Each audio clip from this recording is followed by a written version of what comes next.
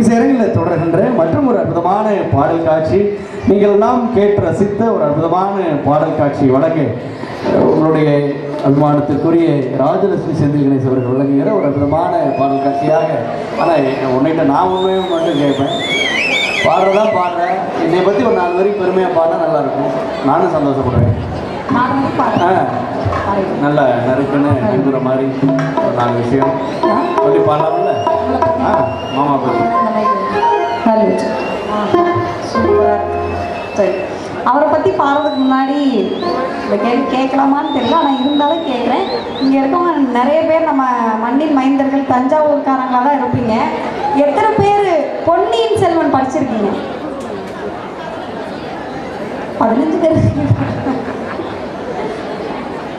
ஆமாம் ஆனால் யாராவது தமிழ் இலக்கியத்தோட சிறப்பு தெரிஞ்சுக்கணும்னா அவங்க வந்து கண்டிப்பாக படிக்க வேண்டிய நூல்களில் ஒன்று பொன்னியின் செல்வன் கண்டிப்பாக தஞ்சாவூரில் பிறந்துட்டு உங்களுக்கு வாய்ப்பு இருந்துச்சுன்னா மறக்காமல் பொன்னியின் செல்வனை படிங்க. நம்முடைய ராஜராஜ சோழன் இலங்கைக்கு போய் பெரிய பெரிய புத்த பீடங்களை பார்க்கும்போது தான் நினச்சாரா நம்ம ஊரில் இந்த மாதிரி ஒரு பெரிய கோயில் ஒன்று கட்டணும் அப்படின்னு நினச்சாராம். அந்த ஆலயங்கள்லாம் இன்னைக்கு எந்த அளவுக்கு புகழ் பெற்றிருக்குன்னு தெரியல. ஆனால் ஆயிரம் ஆண்டுகளையும் கடந்து இன்னைக்கு சும்மா ராஜராஜ சோழன் பெருமை சொல்கிற மாதிரி இன்னைக்கு பெரிய கோயில் நிற்குதுன்னா அது நம்முடைய மன்னர்களுடைய கலை வரலாறு. அதெல்லாம் நம்ம தெரிஞ்சுக்கணும். வரலாறாக படித்தா நமக்கு பல நேரங்களில் போர் அடிக்கும். ஆனால் பொன்னியின் செல்வன் படித்து பாருங்கள் நீங்கள் ராஜராஜ சோழன் கூட பக்கத்தில் உட்காந்து வாழ்ந்த மாதிரி ஒரு அனுபவம் உங்களுக்குலாம் இருக்கும். அது சோழன் வரலாறு. இப்போ இவர் வரலாறு நம்ம பார்ப்போமா?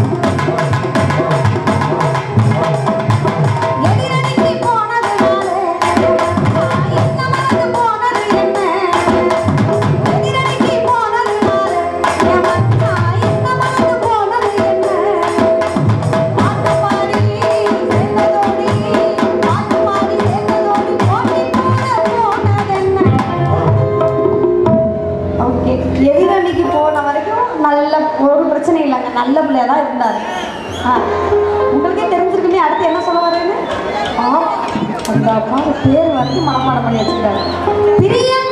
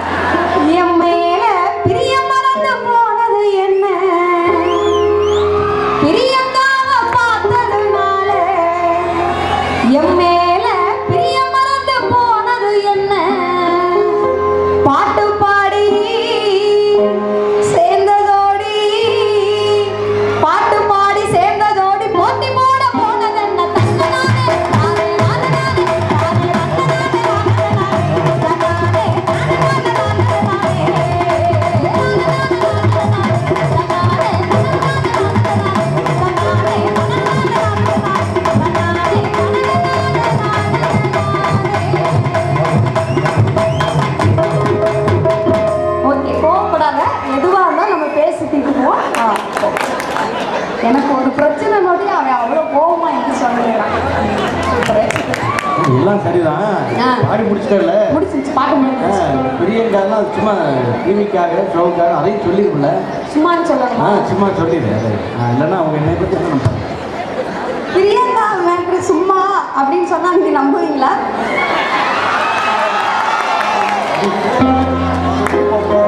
ஐயா நான் சொன்னா அவங்க நம்ப மாட்டாங்களா? ஆமா. ஏதாவது பஞ்சாயத்துனா கூப்பிடுறேன் வந்துருங்க இதை சொல்லத்தானே அவங்க கூப்பிட்டு- போ, நல்லா இருக்கும் அப்படியே போய் உட்காந்துக்கம்மா. ஆ, இந்த இதை இதை வச்சுக்கிட்டு அப்படியே உட்காந்துருக்கேன் ஆமாம் அவங்க சொல்கிறாங்களே அவங்களுக்கு தெரியும் உண்மை என்னன்னு. சும்மா விளையாட்டுக்காக மேடைக்காக சொல்கிறாங்க